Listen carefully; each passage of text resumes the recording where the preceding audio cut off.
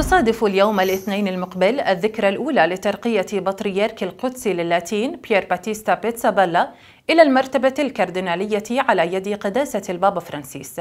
وقد جرى ذلك في احتفال ديني حاشد أقيم في ساحة القديس بطرس في حاضرة الفاتيكان بحضور عدد كبير من الشخصيات الدينية والرسمية وجموع غفيرة من المؤمنين من شتى أنحاء العالم.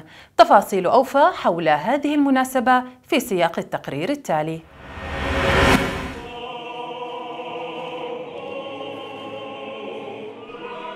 وسط جمع من الكرادلة والبطاركة والأساقفة ورجال دين من مختلف كنائس العالم.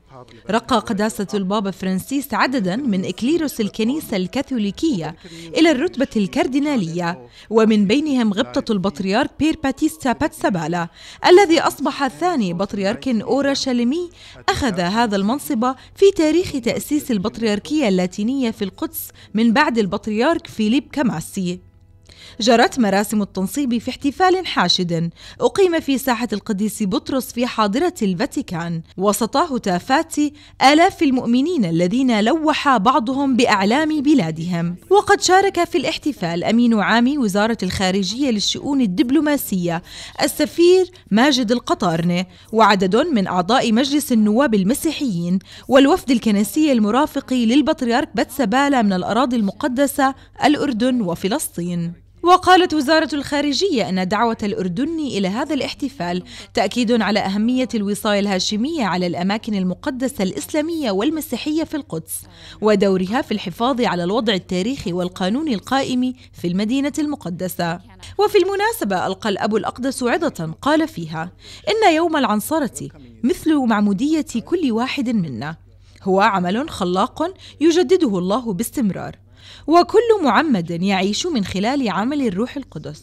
فأنتم أيها الكرادل الجدد قد أتيتم من أنحاء مختلفة من العالم وكل واحد منكم عليه أن يصغي أكثر من أي شخص آخر ليساعد كل الناس ولننطلق معا متشوقين لأن نلتقي بيسوع ونسجد له ونبشر به لكي يؤمن العالم.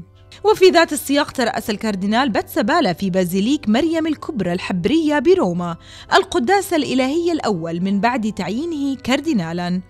بحضور لفيف من الأساقفة والكهنة والرهبان والراهبات وشخصيات رسمية من الأردن وفلسطين وإيطاليا وممثلين عن مؤسسات كنسية وحشد كبير من المؤمنين.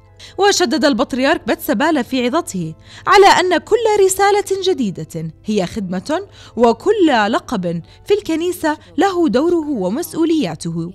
وبالتالي فإن رفعه إلى المرتبة الكاردينالية ليست بخطوة جديدة نحو الأعلى بل للسير نحو العمق.